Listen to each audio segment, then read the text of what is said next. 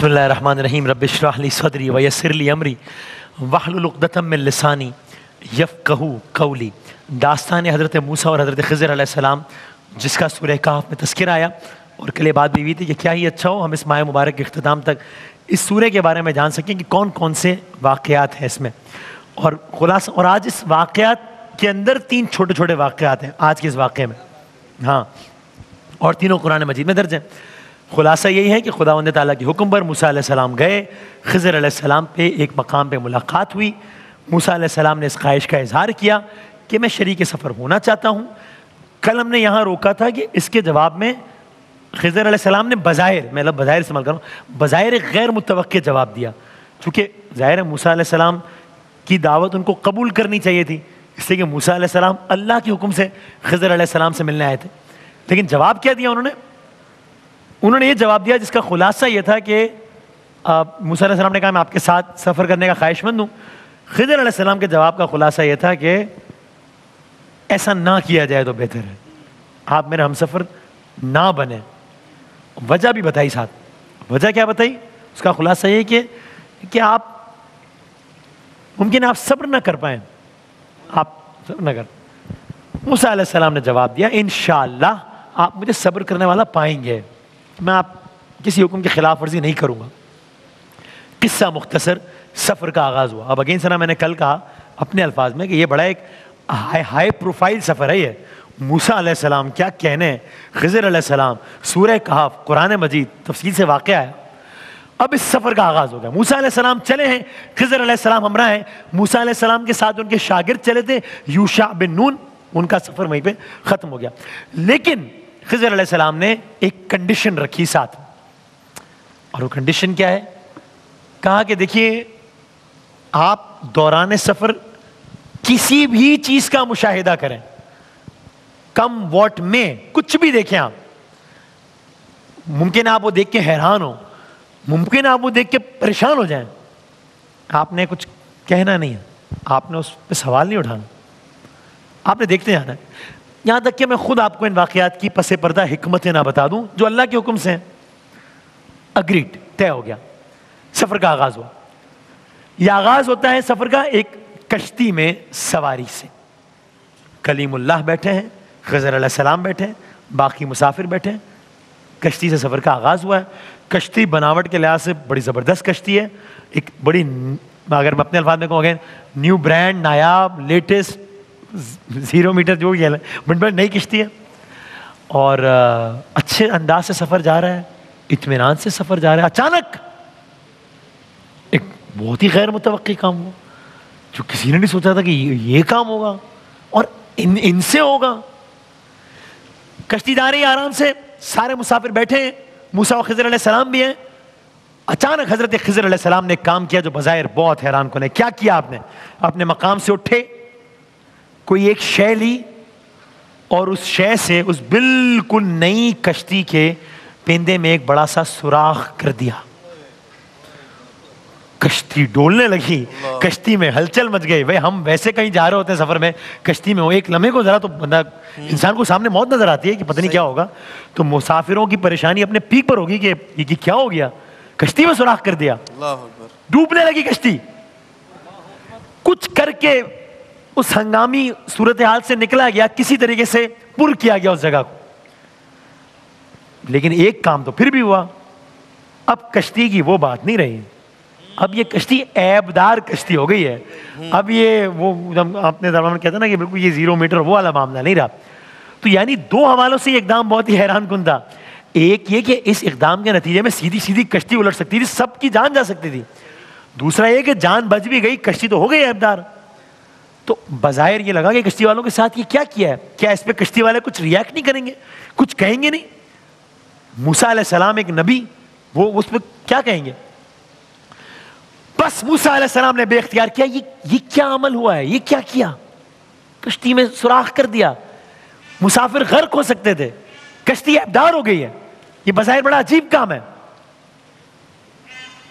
ये वो पहला मकाम था, जब हज़रत मूसा सलाम ने कश्ती वालों और कश्ती सवारों के साथ देखकर अपना मनसब रिसालत बजाय निभाया और पूछा उनसे सवाल। लेकिन एक कंडीशन तय हुई थी सफ़र के आगाज़ में कि भाई वेट एंड सी वाली पॉलिसी होगी। इसमें सवाल नहीं होगा अभी। खिजर सलाम ने मूसा सलाम की तरफ़ देखा और वो बात रिमाइंड कराई कि मैंने अर्ज़ किया था कि सवाल नहीं होगा। मूसा सलाम ने जवाब दिया, अगेन मेरे अल्फाज पॉइंट टेकन ठीक है। आगे चलते हैं नहीं करता सवाल, आगे बढ़ते, सफ़र आगे बढ़ा। आगे चलते गए चलते गए चलते गए। ये मैंने कहा ना, आज के वाक्य में तीन वाक्यात हैं सारे कुरानी अचानक एक और ऐसा वाक्य हुआ। ये वाक्य पिछले वाले से बजाय ज़्यादा किसी एतबार से हैरान कन है? वहाँ तो कश्ती के सफ़र में नौजवान थे, बूढ़े शख्स भी होंगे, बूढ़े अशखास भी होंगे। ये एक ऐसा वाक्य हुआ कि जिसको शायद कोई भी देखता तो रद्द अमल फ़ौरन लाजमी देता कि ये क्या? जस्ट सवाल ज़रूर पूछता क्या हुआ? क्या हुआ? एक मकाम पे पहुँचे कश्ती सोच रहे एक मकाम पे पहुँचे, कुछ बच्चे हैं, खेल रहे हैं। कि अचानक दो अफराद उस जगह से गुजरते हैं? खिजर सलाम, उन दो बच्चों में से एक बच्चे को अलग करते हैं।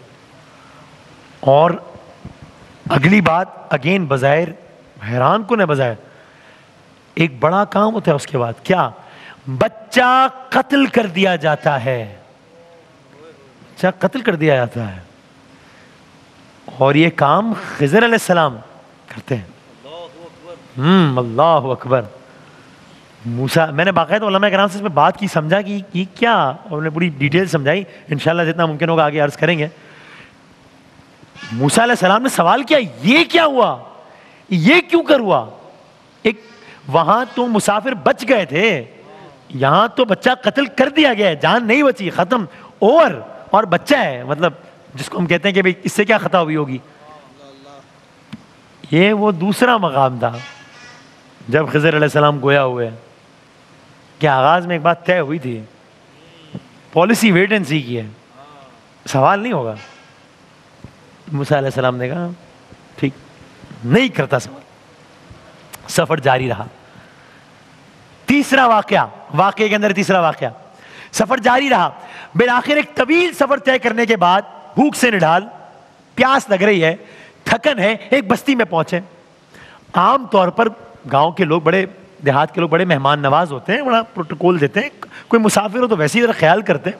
ख़ासतौर पर दूर से आए हुए मेहमानों की खातिरदारी करना उनके इखलाक में शामिल होता है, लेकिन ये बस्ती ज़रा अजीब थी। यानी यहाँ पे बस्ती के लोग ही निराले थे। तो इन लोगों ने मूसा सलाम और खजर सलाम की मेहमान नवाजी तो छोड़ दें, करना दूर की बात। उन्होंने इनकी दरखास्त पर भी उनकी खातिरदारी नहीं की।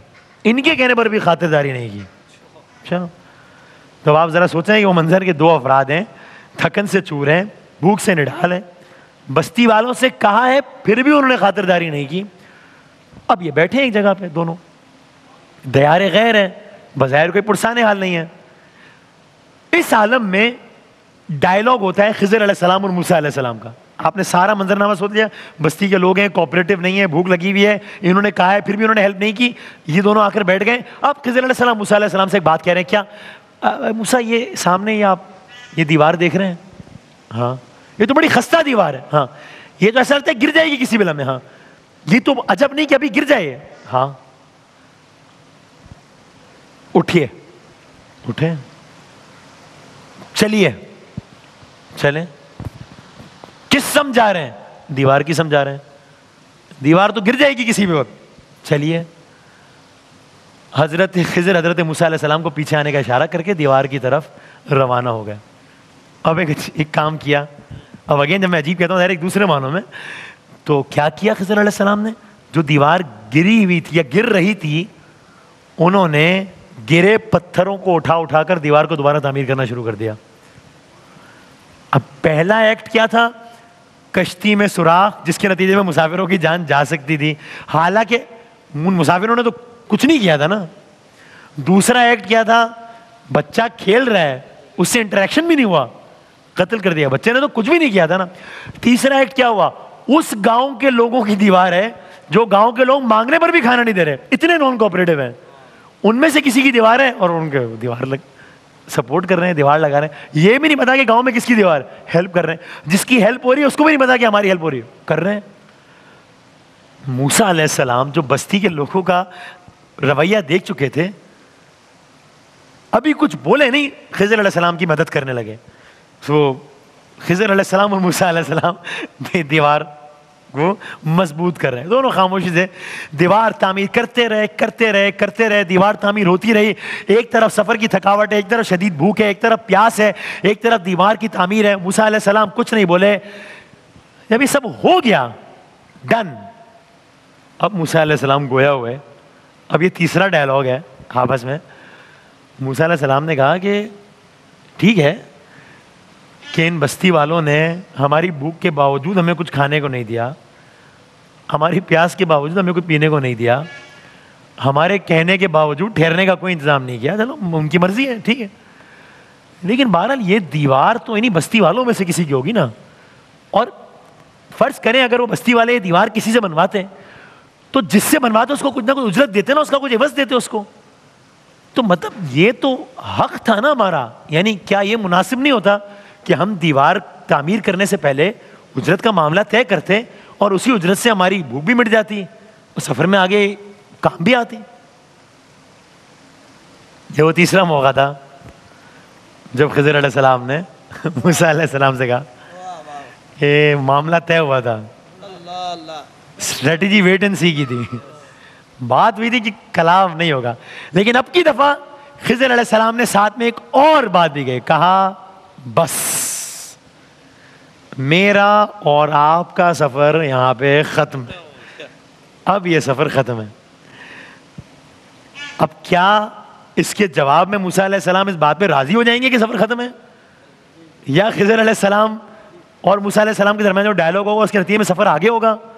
तीन वाक्यात तो हो गए, अभी कोई चौथा वाक्य होगा। या सफ़र यहाँ पे खत्म होगा, जो सफ़र वहाँ के दो दरिया से शुरू हुआ था। जब ये बात खजर सलाम ने कही है, जवाब में मूसा सलाम ने कहा क्या कहा? कलर्स करेंगे बांट